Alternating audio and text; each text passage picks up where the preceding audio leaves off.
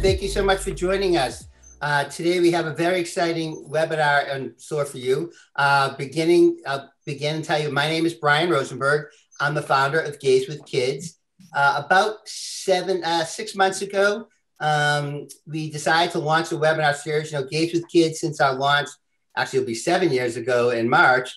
Um, we've done, I think, a, we've done a lot of storytelling, sharing sort of anecdotally stories from, from dads who, you know, talked about how they became dads, but we didn't really go in and give you the details. We didn't really work it out with the with the partners and what those relationships look like and all that's involved.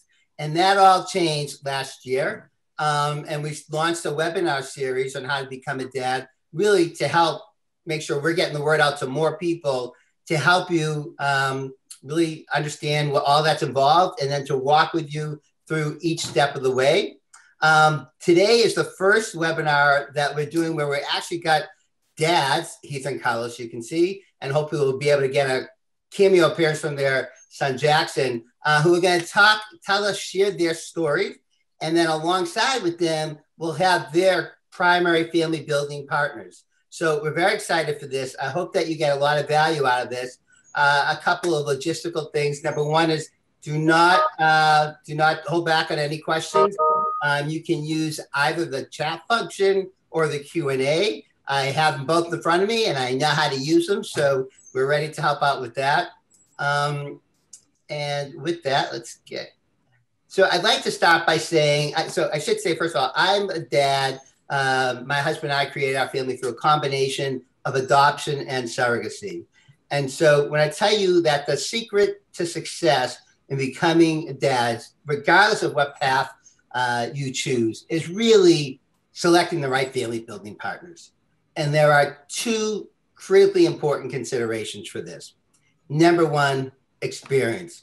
You must, must, must work with family building partners who under who got a long and proven track record um, with great success um, and who really are at the at the you know leading edge of the of the industry.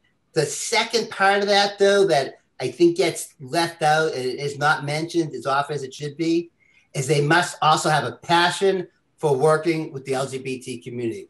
And I can tell you, we we launched a program called Partners to Fatherhood, and it's just with a few organizations because I know there's so many organizations out there right now it's it's confusing, and we want to help you decide which organizations to partner with.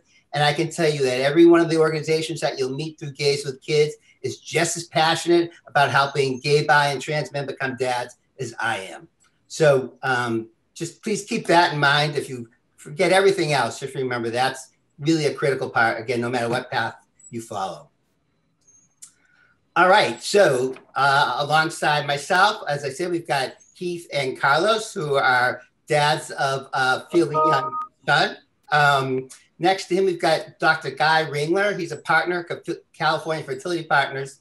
You know, based on what I was saying before about experience and passion, Dr. Ringler is one of the first IVF clinics to help gay men become dads uh, and to have babies. And now these babies, uh, many of them are adults. And as I understand it, Dr. Ringler, some come back to you to ask for help for them to become dads. Uh, the next to, to Dr. Ringler are Jay and Danny Cook Wong, um, the founders of co-founders of Same Love Surrogacy. And Same Love Surrogacy, they came from a personal experience, the experience of three gay dads who created their families via surrogacy and uh, egg donation, and a four-time surrogate involved in international and domestic uh, uh, surrogacy. So we've got, um, with that being said, I'd like to just get started right away and let Heath and Carlos share their story. Again, if you have any questions, please do not hesitate to use the chat function or the Q&A. You can't see it, but I'm pointing to those boxes on my screen right now. All right. So Heath and Carlos, thank you so much. Um, we're ready to hear, hear what you guys have to share with us. Hold, hold on, we have costume changes. We're yes. gonna get the music queued up. We're gonna. No, just kidding. wow. Yeah. Oh yes, guys, you've entered into the next dimension. Um, so I'm Heath. This is Carlos. Um, I thank you guys for having us on today. We are big advocates for sharing our story. Um, we like to, you know, just share our own personal journey with the hopes that it helps other people as they're trying to decide how they want to form their own families. Um, and I feel like just by sharing that, hopefully that information leads you to maybe something you didn't know or something you want to know more about. So we're happy for any questions you have coming our way, but I think we'll start off by just kind of talking a little bit about ourselves, how we met, all that jazz, you know, you can get to know us, right? So I'm originally from Kentucky, born and raised. I sometimes have a Southern accent when I'm tired and drunk, but otherwise it's not there. So, and then Carlos. I'm originally from LA. Um, so I don't know if I have a California accent or not, but uh, we met in uh, New York uh, about almost 12 years ago. Yeah, so we've been together over 11 years now. Um, we met I guess we both moved to New York for various reasons, both kind of theatrical related, uh, directing, actor, all that jazz, as people move there for. Um, but I also got really heavily involved in activism for marriage equality whenever we first moved to New York. And a mutual friend of ours is kind of how we met. Carlos likes to tell the story, so feel free. Well, I had just gotten to my roommate's uh, apartment and our apartment, I should say, um, after working a very grueling shift as a toy soldier at FAO As one does in New York City. And I walked and I saw this cute boy on the couch. I had see the long hair over there in the photo. Hair. It was even longer than that. It was like down to my shoulders. And um, I, I thought to myself, well, I definitely need to sit next to him at dinner. And that's really kind of what kicked it off. And um, we started talking. And so we met kind of in an old fashioned way, not I think if you know back then apps weren't as prevalent. I think we would have met on the apps if not before then. but but we uh, met at a dinner party. We met at a dinner party. um, so uh, for us, whenever we met, I think a very important part for us was just we knew we wanted to have a family. We didn't know how we wanted to get there, but we knew we were young. We didn't feel like we needed to necessarily rush into figuring out what that that sort of how it set itself up but it is something i think we always knew that we wanted to do yeah and i think that's actually kind of good advice already to kind of share is start talking about it with your partner early on you know? Maybe there's people that are watching that aren't even um, in a relationship yet but they want to be parents and i think that it's really important to bring that up because it is well, important to know if the person you're with is on that same journey with you. And I think communication is key on that. I hear so many people that get four years of a relationship and all of a sudden they realize they don't align on kids. I was like, I don't think you were talking for the last four years then. um, so that's just yeah. me. Um, but I know that for Carlos, he also wanted a family because he he loves the idea of being a grandparent. I'm I'm excited to be a dad, obviously, but I'm really excited to be a grandpa. like I, I already know I want to be called Pops. I think it'll be awesome. And uh, uh, it just growing uh, our our family in in that direction has just been really a, a, dream come true for us. Now, granted, that is kind of forcing the fact that our child we want them to have children. So if he chooses not to have children, that's fine. Uh, we're okay with that too. Um, but I think obviously when we enter into it as gay men, we have a lot of various options for how we can form our families. Um, personally, we looked into all of them because I am a type A control freak, kind of let's figure out everything, let's figure out all the endings and how they're going to end. Um, and so my mother was adopted. So we spent a lot of time looking at adoption out of respect to her. Um, ultimately, I think for us personally, um, again, I'm risk averse. So I just felt like for me with adoption, there were too many Uh, opening myself up to too many endings, like A through Z. Like, and there was a lot of emotional risk I felt like that could happen all the way to the end for us. So for me, choosing surrogacy had a lot to do with the fact that whilst there are question marks in anyone's journey, I felt like there were perhaps fewer question marks and a little bit more that I could have a hand in controlling and deciding, right? So I liked it because of that. For Carlos, I know that he had other like aspects. He's an only child. Right. For for me, you know, it it really kind of overwhelming when you think about okay, well, how do I even start? And I think for us, it started really literally with me going into Google and putting in, you know, gay dad and seeing what comes up. Uh, but add a couple more letters and yeah, everything. Don't put in gay daddy. You might get yeah, something else. Get a different but, um, uh, I also searched that, but that's a whole nother story.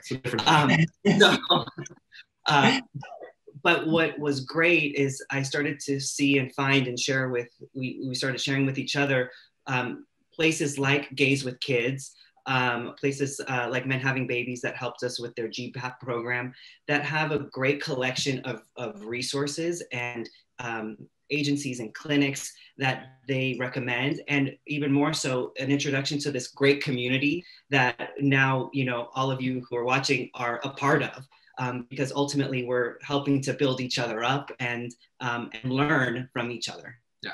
And I think he hit on something that was very vital in our journey, which was the GPAP program. Uh, so I don't know if everyone's familiar, but Men Having Babies has a program where they provide it's an acronym for Gay Parenting Assistance Program. And I would love to live in a world where surrogacy was uh, a financially optional choice for us. But at that point in our lives, we didn't have the financial resources that we needed to go on a full journey.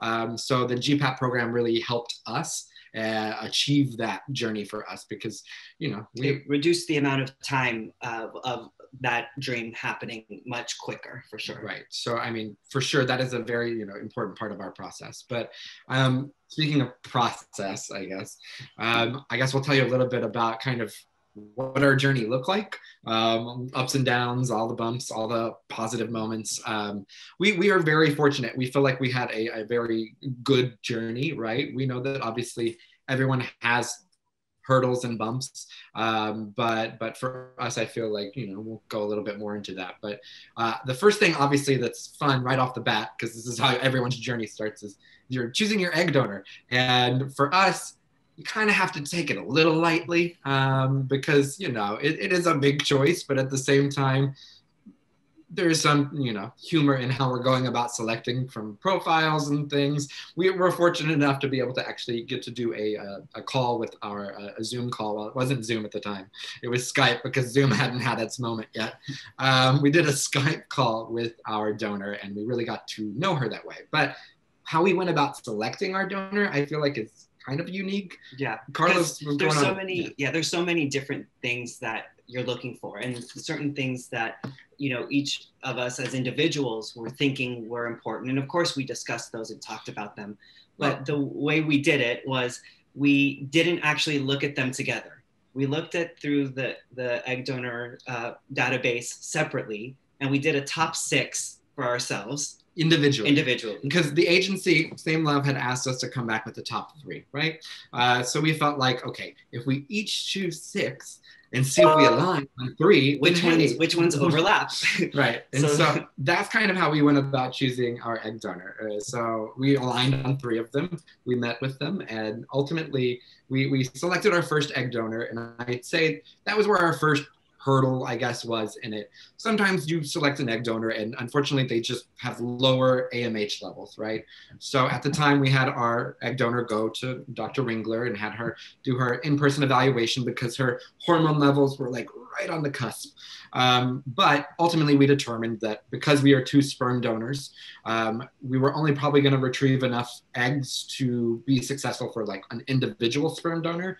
And so ultimately, we had to then kind of go back and go back to the drawing board and find another egg donor that would function for us needing to split ours. And what I will say though is with every hurdle, I'm a big believer of everything happens for a reason. And our the egg donor that um, we did move forward with is such an amazing woman. And obviously not just because of, of, the gift that she gave us but we've actually become friends with her and we stay in touch. And um, that has been it, it, was absolutely meant to be her right. i guess is kind of what i'm i'm getting at.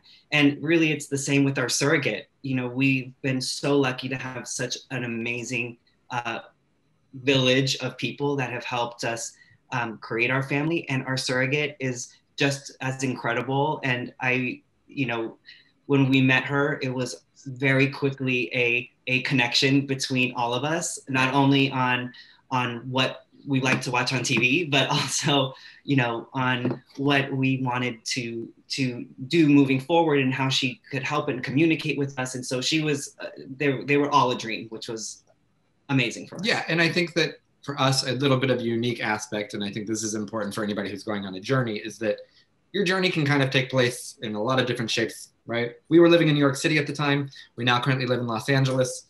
Our clinic was in la our agency was in la turned out that our egg donor that we found also happened to be on the west coast and so did our surrogate we could have found a surrogate in Texas. The reality is, you can go about it in many different ways. Just because you're located on the West Coast doesn't mean you that. If you could be on the East Coast and still use, as we did, Same Love and uh, California fertility partners. So I think that's an important thing to kind of understand about the journey as you go on it.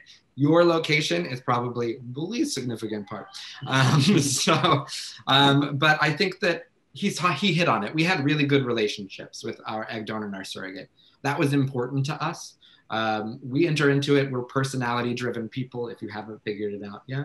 Um, so we wanted to find people that we connected with, and we did. And so we're grateful for that. We have great relationships, pretty unique. We have gone out to drinks with our egg donor. We have met our egg donor's mother. She follows us on Instagram. We're, we, are we we're, we're a bit of an exception to the egg donor rule. Um, and then with our surrogate, she's got four kids of her own. We love them all. We all hang out when we can. Obviously, a little restricted because of COVID, um, but it's been great. So our we we in terms of journey, once we found our surrogate, obviously we did the transfer and we were very lucky. We were pregnant on our first transfer. So we definitely, you know, we're obviously holding our breath. And I am a bit more, uh, I'm not the optimist in the relationship. Carlos yeah, is. He's the realist and I'm, I'm definitely the dreamer. So we were, I was actually in Germany for work and Heath came out uh, on the day of the transfer and we went out and we went to the castle, uh, Neuschwanstein Castle, the one that Disneyland's castle is modeled after. And I was like, this is a sign. This is gonna, it's gonna work because our dreams are coming true. You know, cue the birds and uh, the the deer coming to uh, celebrate with us. Um, and but we, it was successful, which was amazing. And I think that was a huge part, obviously, with because of Dr. Ringler's guidance in prepping um, our surrogate to have to be ready to receive the, the the transfer, which is a big part and then we, we kind of had a good journey. Like we communicated really well with our surrogate. Again, we were friendly. We'd gone bowling with the kids. We'd gone to amusement parks with the kids. We'd done all that. Um, so then, of course, to kind of summarize it and speed it up nine months at that point, we also had a very fun delivery story as well. Um, and we we were scheduled. She was our son was scheduled to be born. At the time, we didn't know gender because my sister had had four kids and never figured out any of them. So I said, well, I, I guess I can do it for one. Um, so we did. And he was scheduled to be born on March 19th.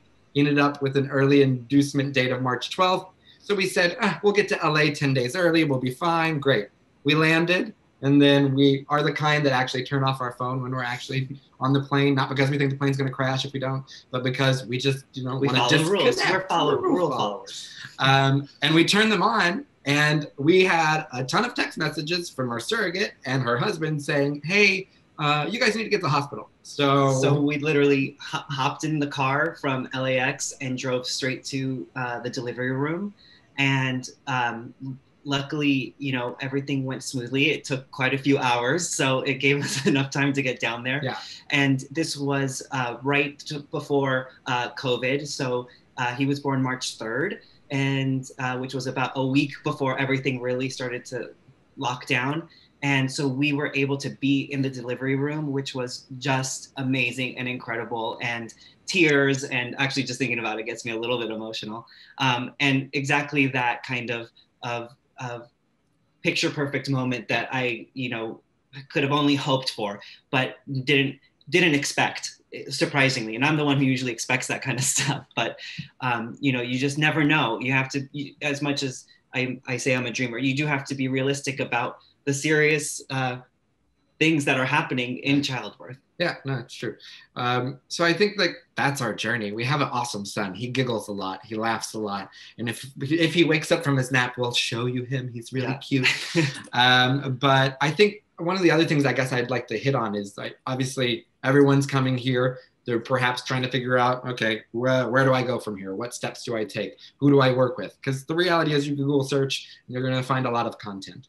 Um, but we ultimately landed on Same Love Surrogacy in California fertility partners for a couple of reasons. And for us, um, obviously, as gay men, we kind of, it's the gay bar theory, right? Um, why do we go to the gay bar, right? When we go, oh, there's tons of straight bars out there, but we like going to the gay bar. Um, it's this idea of just being around people with shared experience. And so we really wanted to find people who were part of the LGBT family and, and really had that going for them. Because for us, I mean, it, it's just like anybody. You want somebody on your side who fully understands what position you're in. So for Same Love Surrogacy, it was like a no-brainer. It's run by gay fathers who are intended parents themselves, who had gone through the process and who had, you know, done this. And so they knew when we were in certain situations that, oh, I, I can go to them for advice and they're going to get 100% my side of it, right? Because they themselves, not only are they men in the process, which again, in any pregnancy is secondary, it's just the reality of it, but they're also gay men, which kind of is another step down in terms of that. So for us, we wanted whenever we were like, what's happening here? For us, the biggest thing was the transition from the clinic, which Dr. Ringler gave us great care, to the OB's office the OB gave the surrogate great care, but all of a sudden it, it, becomes about the surrogate, you know, and and you know, not trying to out Jay and Danny and Dr. Ringler here, but what, what, what, what what was really wonderful for us is just that comfortability factor of being able to be completely honest with them about our fears and our hopes and all of those and know that they would completely understand it in in the unique way that someone who's lived a gay or LGBT experience um, understands and views the world. Um, so that was was what I think was so amazing. And what I will say is all of them respond so quickly too, because when that transition happened from uh, uh, to the OB, I, which I was not ready for because I wanted us to be able to FaceTime in, and it, some technical issues happened, and then the the appointment was over. I sent a I'm not the, the the type A personality that Heath is, but I sent a strongly worded email trying to understand, you know, and I, to uh, to same love, and immediately they were on the phone being like, "This is normal. This is all part of the process. It's not about you anymore." And I'm like, "Okay, you're right. Get it's, over yourself. It's not about me. It's it's uh, you know, it's about obviously making sure that your surrogate surrogate yeah. is taken care of and that the baby is healthy." And and uh, to the point of why California Fertility Partners for us, obviously, we wanted somebody who worked in partnership as well with Same Love, and we knew that they had a really great working relationship. But I also did all my research and looked at statistics and all that stuff, and I saw, oh, California Fertility Partners, they got some really good statistics. And then we met with Dr. Ringler, and he's super nice. I mean, we are up here on the scale of energy and dr ringler was nice in the middle which we appreciated because i don't think there's enough space in the room for another person like me. Um, so also he draws a really awesome diagram. If you work with him you're going to know what i mean. He has a nice little diagram that breaks down how eggs split then the embryos all of that. So and that uh, was we were really kind yeah. of thirsty for that knowledge yeah. you know? We we wanted to be educated along the way and to know really what was happening and what the processes were. And everyone involved was just so helpful in doing so and patient in doing so. Yeah and i think that dr ringler's team is great. He's got a great staff. They were really great at communicating with us and so we were able to get information from them.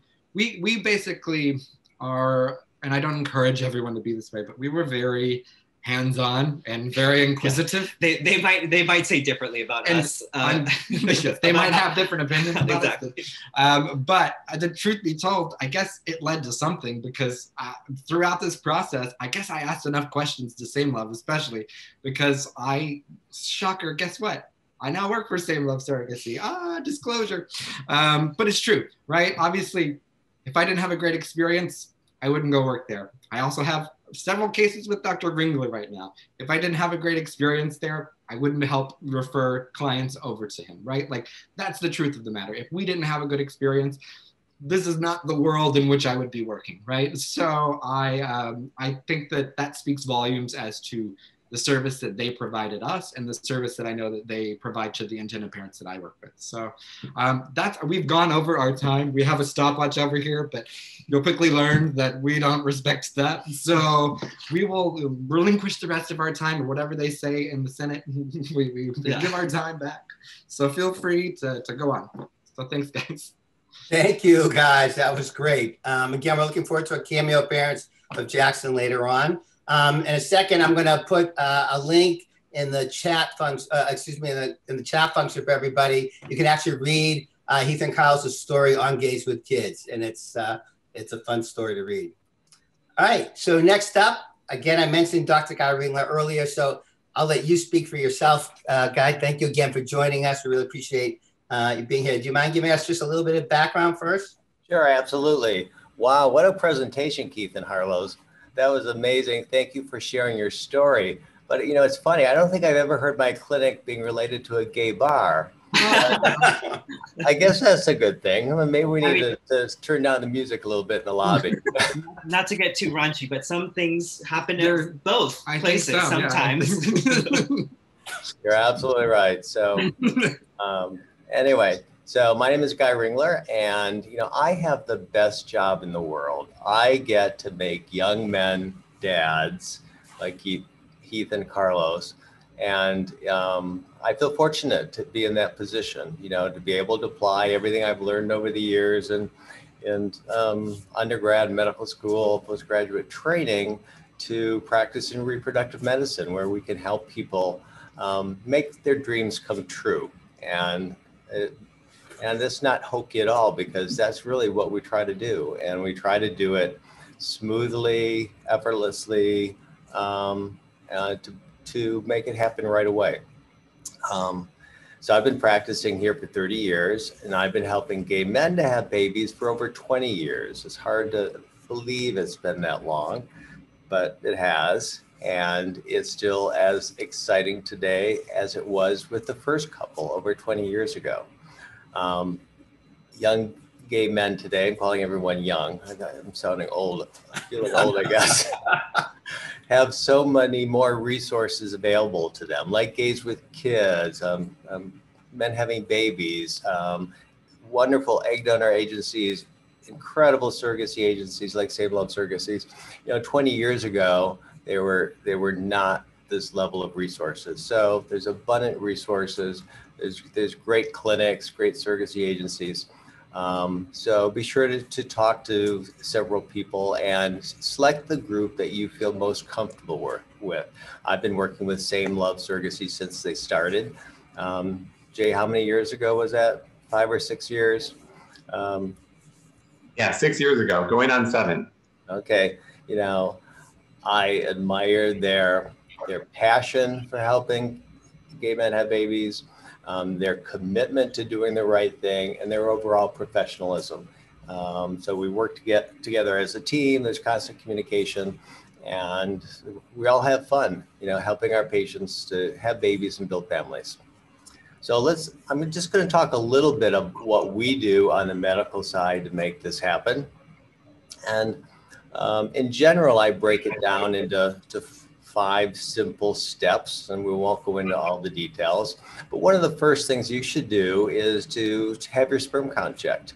Um, the test is called a semen analysis. You can do it with your primary care physician or um, with an IVF clinic because you want to get a sense of the quantity and quality of your sperm. Because if there's an abnormality, then there's treatments that may help improve your numbers prior to freezing your sperm.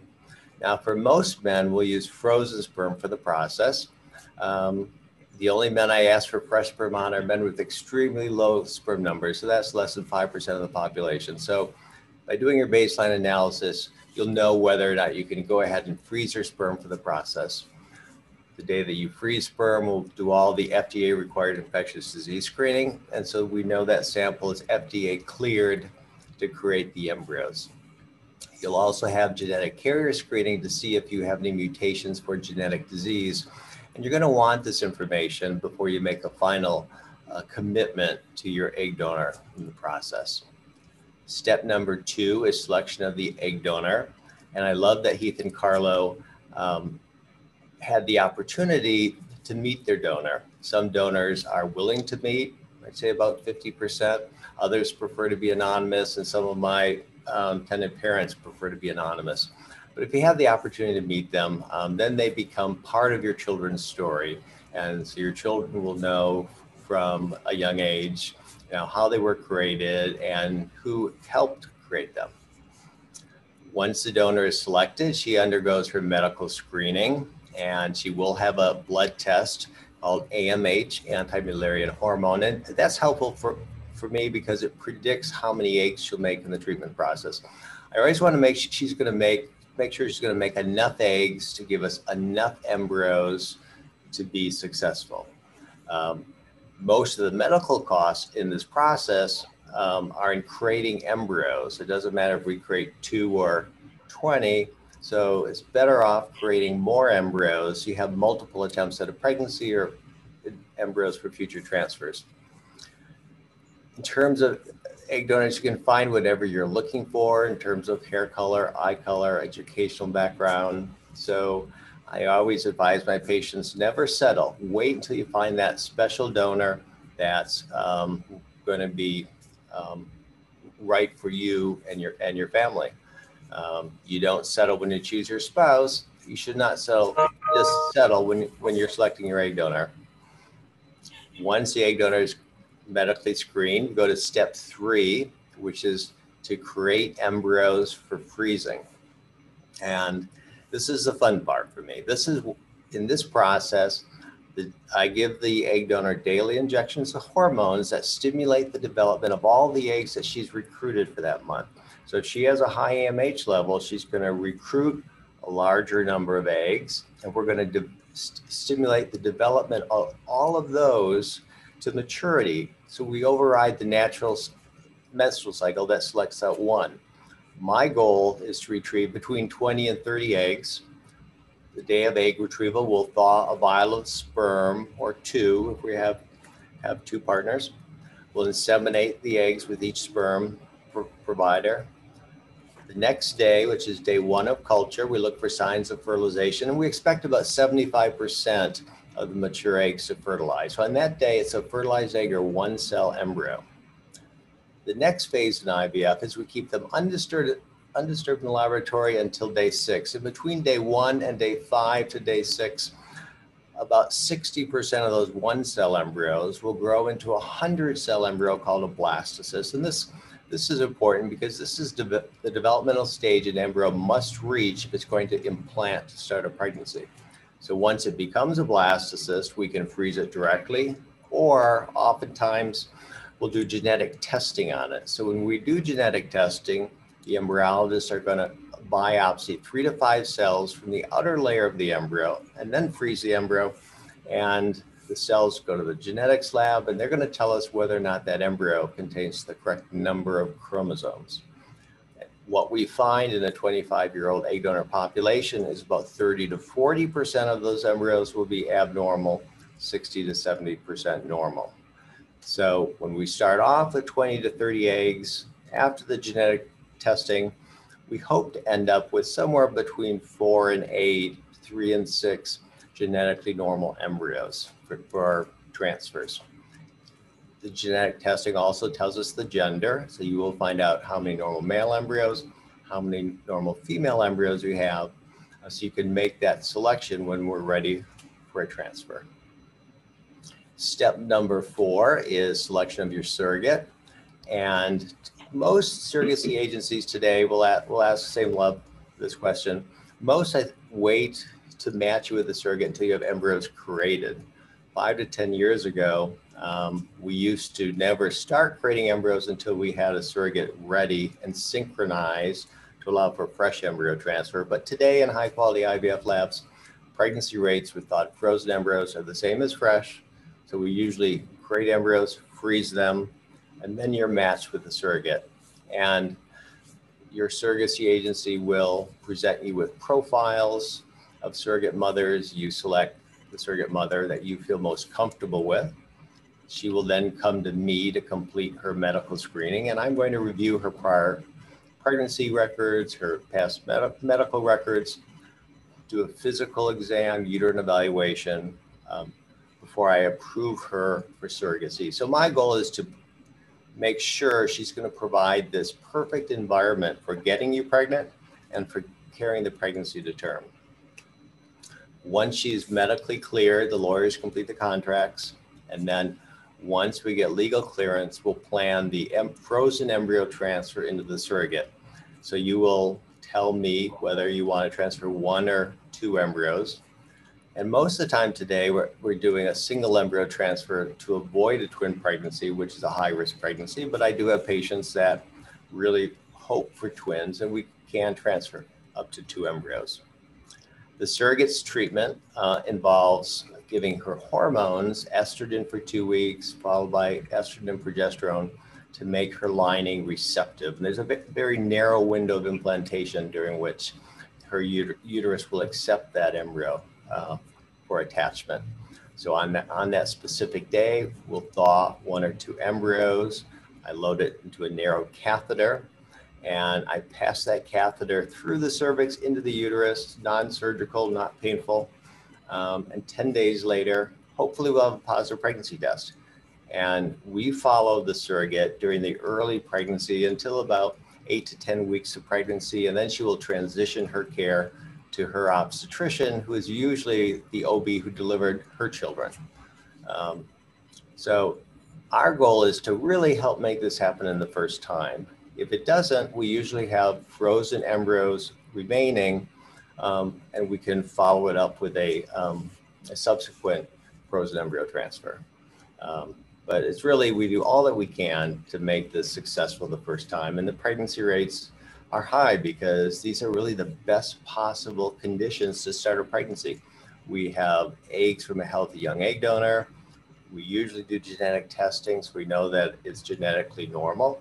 And we're putting this tested embryo into this perfect environment that the surrogate's providing, you know. So we, we can't lose, right? And I have a wonderful team of uh, staff members around me. Have amazing nurses, embryologists, um, my colleagues at the egg donor agencies, surrogacy agencies. We're all committed and we all work together to help help help you have a baby. So I hope that was helpful. And you know, when you're ready to start the process, we're going to go over this whole process again. And um, I think it's important that you have a basic understanding so that you are able to make important decisions that will need to be made along the way. So I think we're going to turn it over to um, Jay and Danny to hear what happens on the surrogacy side. All right. Hi. I'll, obviously, I was told I only have two two minutes, so I'll make it quick. Uh, quick introduction about us. Uh, my name is Danny, and this is Jay. We've been together for 24 years. And when we first met, we just knew we wanted kids. So we looked around and we did look into adoption, but of course, since we're gay men, we did we did ran into issues and obstacles.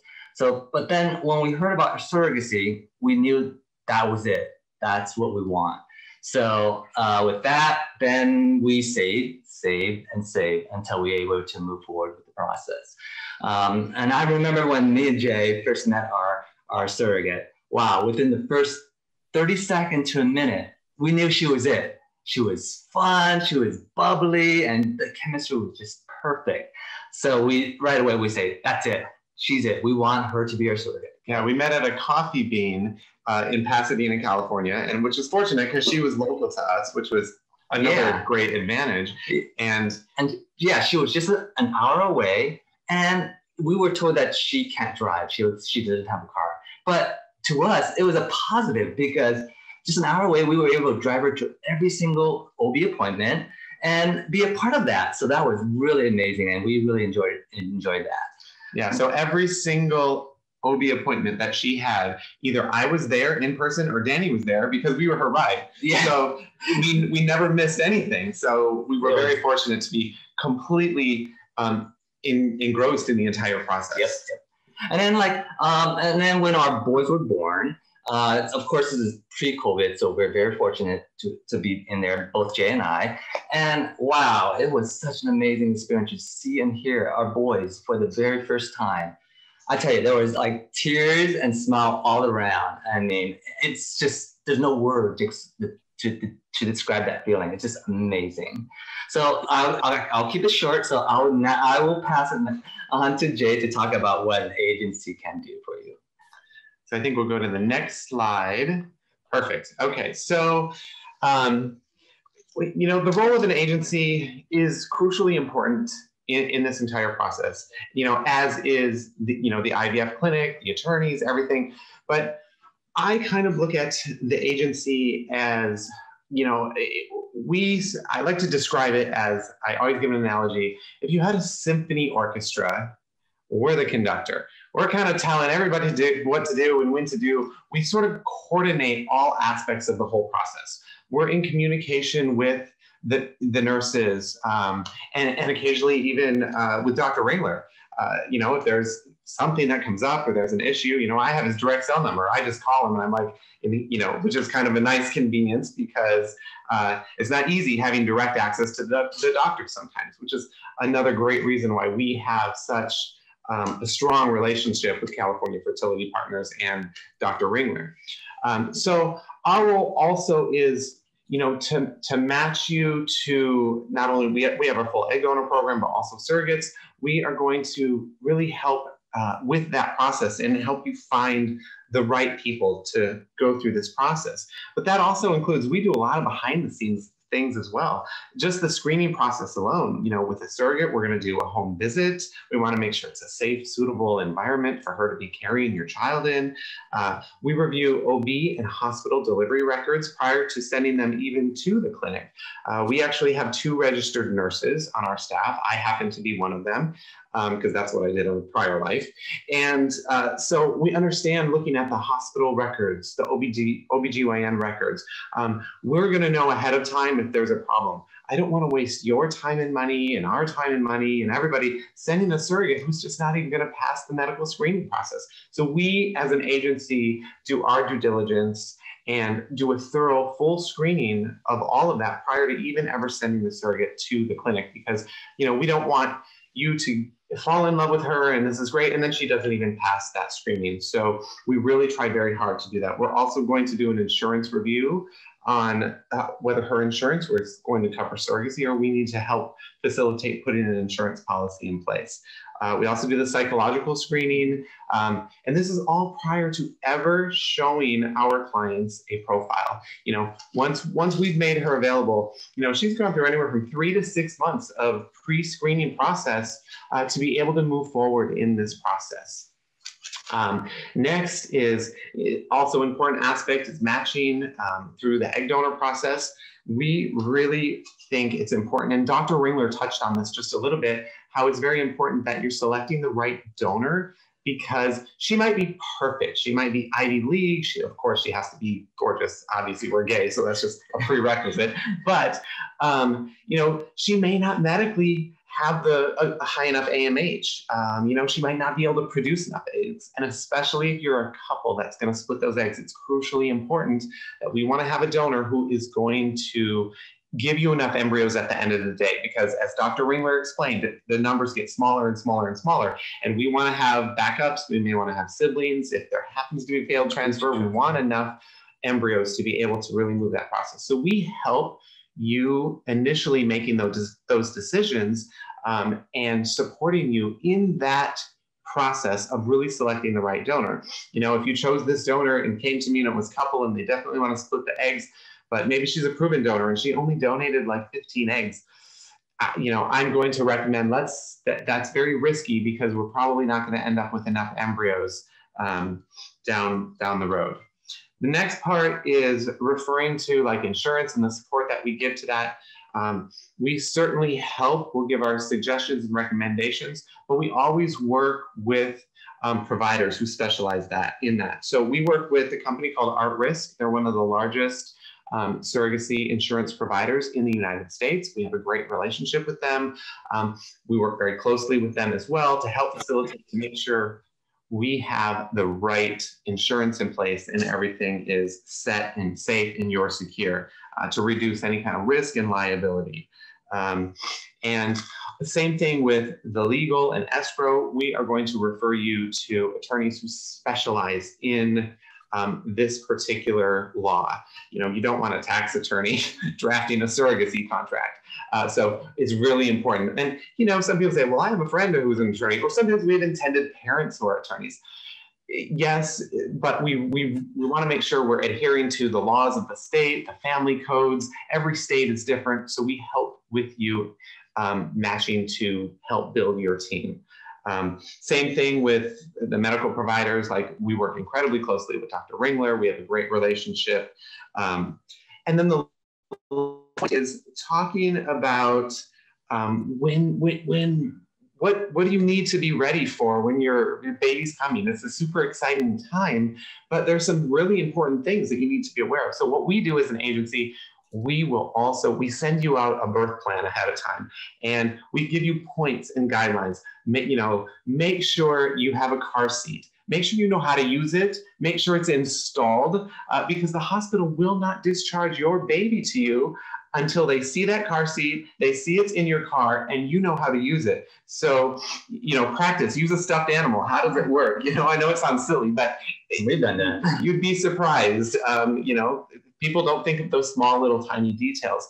You know, make sure we, we help with your getting your pre-birth orders. So we have extra copies of them. You have a copy of that. So when you go to the hospital, you know, there's no emergencies where the hospital says, wait, we, we, what, what are you talking about? You're the parents, but she's carrying the baby. You know, we want to make sure everything is smooth and easy um, as much as possible for you. So we, we help prepare you for you know the arrival of your baby and safety as well. We want we we give you pointers on you know what is the safe thing to do uh, to make sure that your, your baby is safe, you know, such as babies when they're first born, you know, you want to have them sleeping um, on their backs, not face down. You never ever want to sleep with your baby in your bed with you because somebody could accidentally roll and turn and some so the baby could be suffocated, you know, so there's important issues, safety. We help with all of that. We want to prepare you and make the exper- experience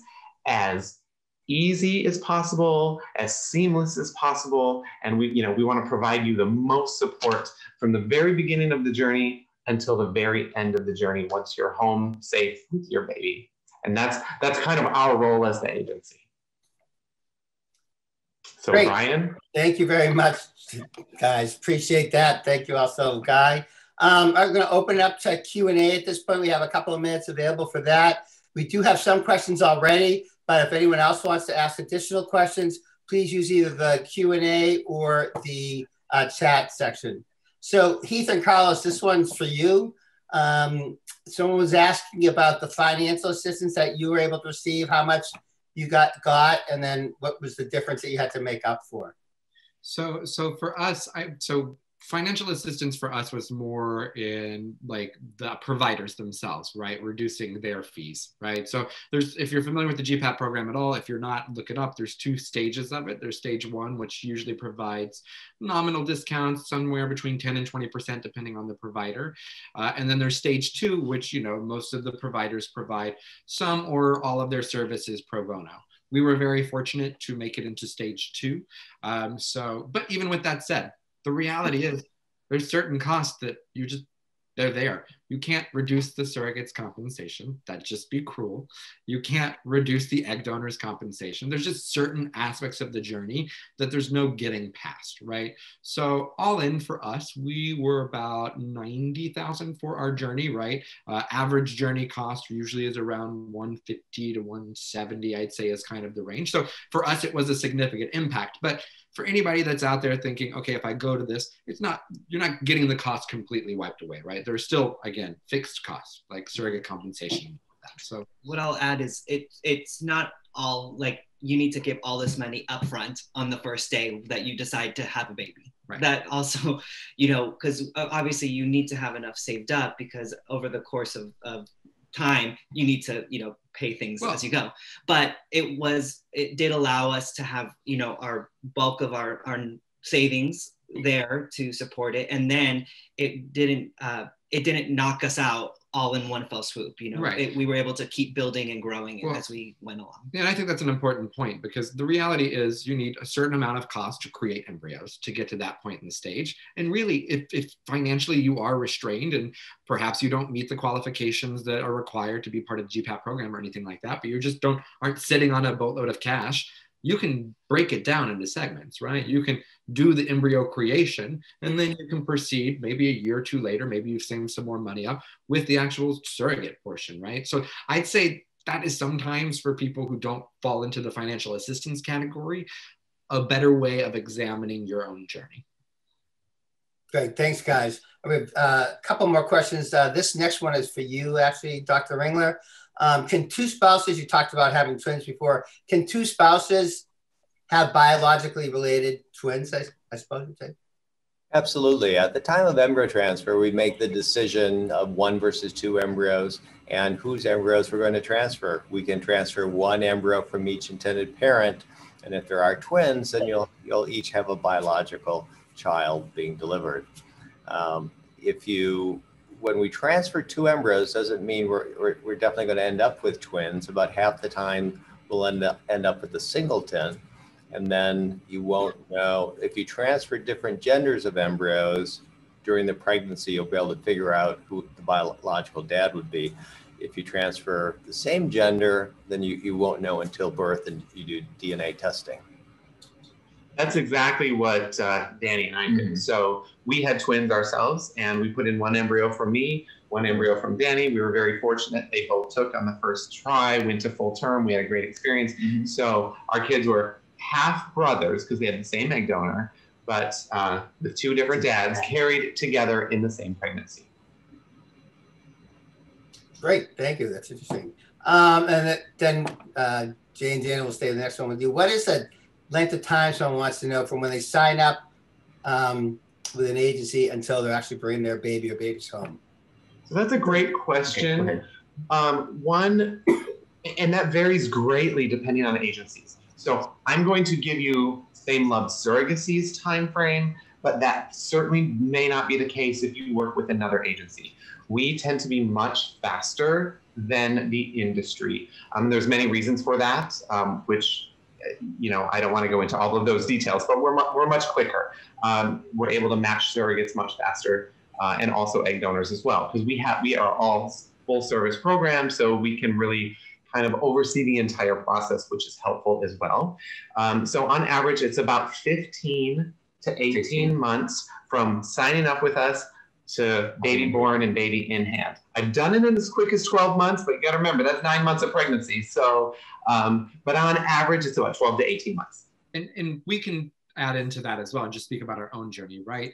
You are kind of as IPs the driving force behind a lot of it too as well. Obviously, there's certain things like if your you know embryos don't turn out great or you have an issue with anywhere in a bump in the road, obviously you don't have control over that. But when it comes to legal and stuff like that, really it's the IPs that are, and we were guilty of this, dragging their feet, right? So I think that you are your own best pusher of your own timeline in reality, right? And there's just certain things that, again, Jay already alluded to it. Nine months of pregnancy is just there, right? You can't avoid that. Can't speed that up. Yeah. And then yeah.